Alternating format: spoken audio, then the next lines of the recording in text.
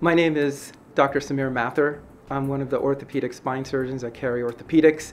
I've been practicing in the Raleigh, Cary area since 2006. I had a great opportunity at Cary Orthopedics. They also wanted to develop their spine program from the ground up, and they were looking for someone who could do that for them. I already had a great experience at the University of North Carolina doing that, and I thought this was another opportunity where I can sort of use my vision for spine to help a practice grow one of the best things that I'm proud of is that we have a comprehensive spine center. What that means is we have all various treatments for spine under one roof. So unlike other practices where if you need to get an injection or you need physical therapy, they're sending you to various locations, we have everything in-house. My treatment for spine procedures are primarily rooted in conservative treatment. What that means is when you come to see us, uh, we always start with non-surgical management. So for example, we will start with physical therapy, try some basic medications.